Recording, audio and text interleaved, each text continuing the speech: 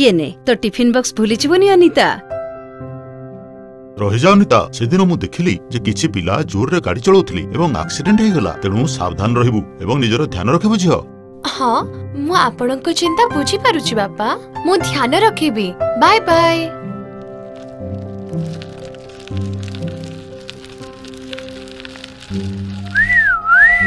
କୁଆଡେ ଯାଉଛ ବ୍ୟୁଟିଫୁଲ ଟିକେ ହସି ତ ଦିଅ ଆଚ୍ଛା ତାହେଲେ ତୁମେ ଆମ ଆଡକୁ ଚାହିଁବନି ଏଁ ଆ, ଏତେ ବି ଭଲ ଦେଖା ଯାଉନ ମ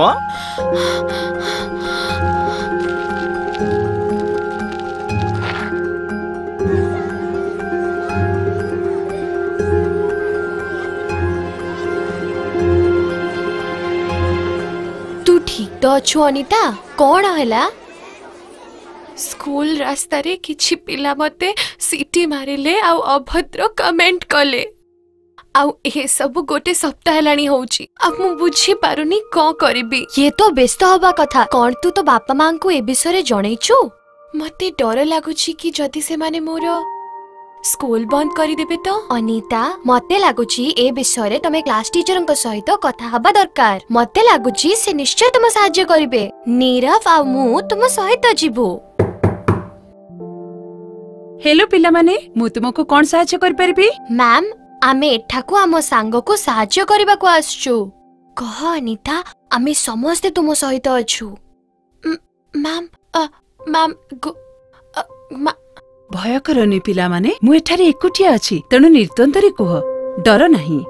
ମ୍ୟାମ୍ ଗୋଟେ ସପ୍ତାହ ହେଲାଣି ସ୍କୁଲ ଆସିବା ରାସ୍ତାରେ ଅ, ବଡ ପିଲାଙ୍କର ଗୋଟେ ଗ୍ରୁପ ମତେ ଦେଖି ସିଟି ମାରୁଛନ୍ତି ଆଉ ଅଭଦ୍ର କମେଣ୍ଟ କରୁଛନ୍ତି ମତେ ଏ ବିଷୟରେ ମା ବାପାଙ୍କ ସହିତ କଥା ହେବାରେ ଡର ଲାଗୁଛି ମ୍ୟାମ୍ ମୁଁ ବି ଆପଣଙ୍କୁ କିଛି କହିବାକୁ ଚାହେଁ ହଁ ନୀରବ କୁହ ନା କିଛି ଦିନ ପୂର୍ବେ ଆମ ସ୍କୁଲ ବସର ଡ୍ରାଇଭର ମତେ ଜବରଦସ୍ତି ତା ପାଖରେ ବସେଇଲା ସେ ମତେ ଛୁଇଁଲା ଯୋଉଟା ମତେ ଠିକ ଲାଗିଲା ନାହିଁ ମୁଁ ଛଡେଇବାକୁ ଚେଷ୍ଟା କଲି କିନ୍ତୁ ସେ ମତେ ଭିଡି ଧରିଥିଲା ସେ ମତେ ଧମକ ଦେଲା ଯେ ମୁଁ ଯଦି ଏ କଥା କାହାକୁ କହିଲି ସେ ମତେ ଦଣ୍ଡ ଦେବ ମୁଁ ବହୁତ ଡରି ଯାଇଥିଲି ମୁଁ ଦୁଃଖିତ ଯେ ଏମିତି ହେଉଛି।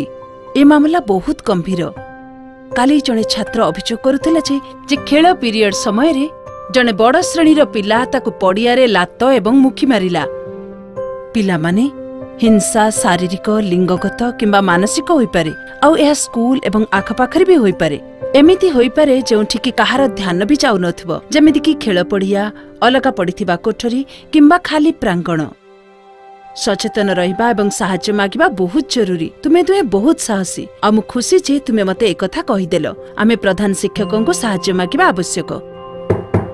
ଆସିଯାଆନ୍ତୁ good morning sir good morning ma'am sir ମୋର ଆପଣଙ୍କ ସହିତ ଗୋଟେ ଜରୁରୀ କଥା ହେବାର ଥିଲା। କିଛି ସମୟ ପୂର୍ବରୁ ହଁ କଣ? ସାର୍ ଆପଣ ତ ଜାଣନ୍ତି ଯେ ହିଂସା ଗୋଟେ ପିଲାର ବିକାଶରେ ବାଧା ପହଞ୍ଚିଥାଏ ଏହି କାରଣରୁ ଚିଡ଼ଚିଡ଼ାପଣ ଭଲ ଶିକ୍ଷା ପ୍ରଦର୍ଶନ ନ କରିବା ସ୍କୁଲ ନ ଆସିବା ଏବଂ ସମାଜରେ ଏକାକୀ ରହିବାର ପ୍ରବୃତ୍ତି ମନରେ ଉଙ୍କି ମାରେ ଆମେ କିଛି କରିବା ଉଚିତ ସାର୍ ଇଏ ଦୁର୍ଭାଗ୍ୟପୂର୍ଣ୍ଣ ମୁଁ ଆପଣଙ୍କୁ ଧନ୍ୟବାଦ ଦେବି ଯେ ଆପଣ ମୋତେ ଏ କଥା ଜଣେଇଲେ ଆମ ସ୍କୁଲ ପରିସର ଭିତରେ ବା ବାହାରେ କୌଣସି ପରିସ୍ଥିତିରେ ହିଂସାକୁ ବରଦାସ୍ତ କରାଯାଇପାରିବ ନାହିଁ ମୁଁ ଏଥିପାଇଁ କଠୋର କାର୍ଯ୍ୟାନୁଷ୍ଠାନ କରିବି ଆମେ ଛାତ୍ର ଅଧ୍ୟାପକ ଅଭିଭାବକ ଶିକ୍ଷକ ସମିତି ଏବଂ ଆଞ୍ଚଳିକ ନେତାମାନଙ୍କ ସହଯୋଗରେ ସୁରକ୍ଷିତ ଶିକ୍ଷାଗତ ପରିବେଶ ସୃଷ୍ଟି ପାଇଁ ଏକ ଅଭିଯାନ ଚଳାଇପାରିବା ଆଉ ଏକଥାକୁ ସୁନିଶ୍ଚିତ କରିବ ଯେ ଯାହା ଅନିତା ଏବଂ ନୀରବ ସହ ହୋଇଛି ତାହା ଯେପରି ପୁନରାବୃତ୍ତି ନ ହୁଏ। ବହୁତ ଭଲ ପରାମର୍ଶ।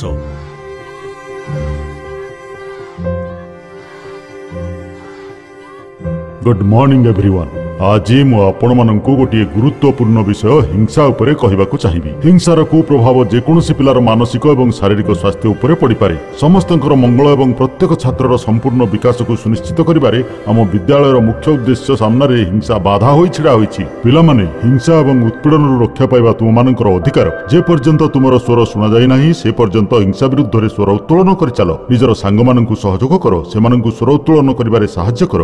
ରୀନା ମ୍ୟାମ୍ କଣ ଆପଣ କିଛି କହିବାକୁ ଚାହିଁବେ? ପିଲାମାନେ ଦୟାକରି ତୁମେ ଡର ନାହିଁ।